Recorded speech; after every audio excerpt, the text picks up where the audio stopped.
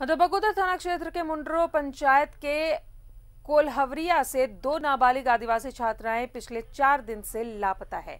मामले को लेकर क्षेत्र में तरह तरह की चर्चाएँ गर्म हैं। बताएँ कि पिछले 24 अगस्त से ही इन दोनों लड़कियों का कुछ पता नहीं चल पा रहा है जिसे लेकर दोनों लड़कियों के परिजन काफ़ी परेशान हैं। इसकी सूचना बुगदर पुलिस को दे दी गई है। दोनों लड़कियाँ रिश्ते में चचेरी बहन है। पुलिस लड़कियों की तलाश में जुटी है।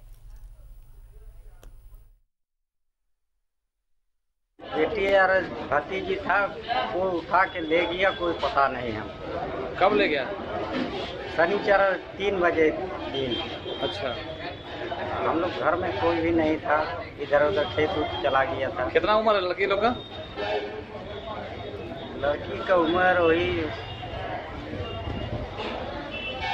चौदह पंद्रह था।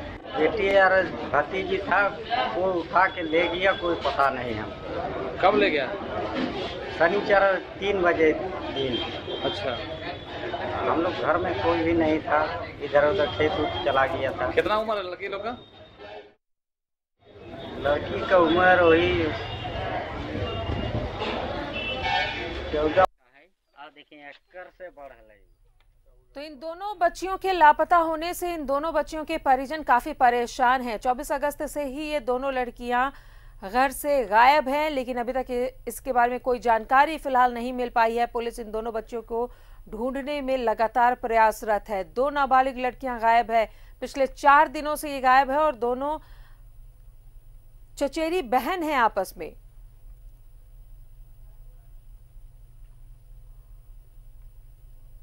तो ये उनमें से एक नाबालिग की तस्वीर है।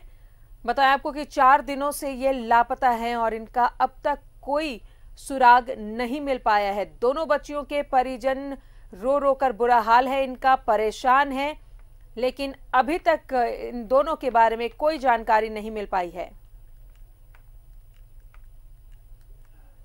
और ज़्यादा जानकारी ले बगोदर से सहयोगी बिट्टू फ़ोन लाइन पर है। बिट्टू, दो नाबालिग बच्चियाँ हैं जो पिछले चार दिनों से लापता है।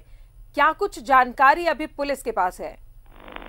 देखिए राज साहब, बता दें कि ये बड़ी खबर है कि दो आदिवासी ये छात्राएँ हैं, लापता हैं और पूरे चार दिन हो गए पुलिस के पास अभी तक कोई इसका सुराग नहीं मिल पाया है।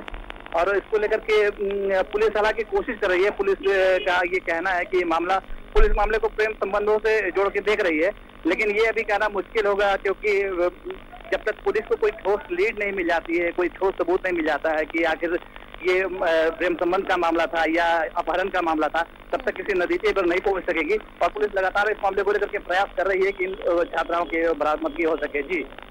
बिट्टू क्या घर परिजनों ने कुछ बताया है? क्या कोई किसी चीज़ को लेकर विवाद हुआ था या कुछ परेशान थी दोनों युवतियाँ? इन्होंने जो बताया है उसके जब जैसे ही इन लोगों का ये गायब हुए हैं उसके एक घंटे के बाद उसके फ़ोन पर किसी एक अजनबी का कॉल आया था उसकी माँ के फ़ोन पे और उसने उस लड़कियों के बारे में जानकारी पूछी थी कि वो लड़कियाँ कहाँ हैं।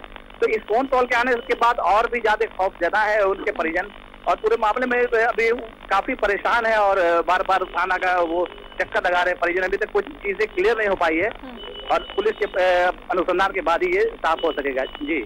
शुक्रिया बिट्टू जानकारी के लिए। तो फ़िलहाल पुलिस के हाथ भी खाली हैं। चार दिनों से ये बच्चियाँ लापता हैं लेकिन अभी तक इनका सुराग नहीं मिल पाया है।